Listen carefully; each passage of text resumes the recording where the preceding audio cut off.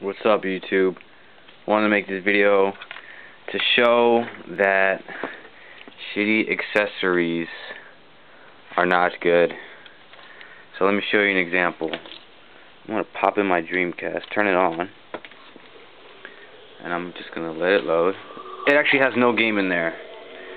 But this right here is just a regular black Dreamcast controller. As you can see, I'm plugging it in.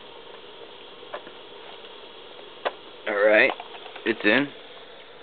And of course, I can move it around. See? It works. See that? Music, and then I go to settings, I go to files. See, I can move around. Alright? Now, when I put in this one controller that a lot of you guys might have seen my pickups video where I got this controller and um, some games check it out. Slip it in. And it does not work. Look at this. Does not work at all. Nothing. Nothing. Check it out. Hit the button. And you know why this does not work at all, even though it's connected to my Dreamcast? It's because of this.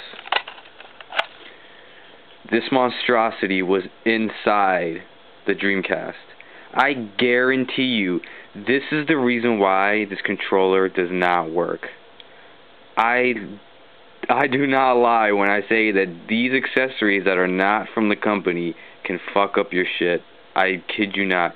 Memory cards that aren't from this can, well in this case, fucks up the, the controller, but if you use like a PlayStation memory card, like a fake one, what I call these fake, uh, in in you put it in your PlayStation slot, it can fuck up your slot. So, yeah, I mean honestly, I didn't I didn't get the auction or I didn't get the lot for this controller. This was just an extra, which I really didn't care. So to me, it doesn't bother me that this doesn't work. I just want to show you guys to never ever use these stupid accessories because look, it doesn't work. It does nothing. See, I've never seen this before. This is this is terrible. This is bad.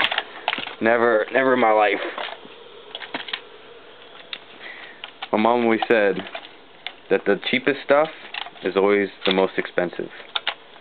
Why? Because they end up breaking, and you always have to end up buying the more expensive one in the end. So,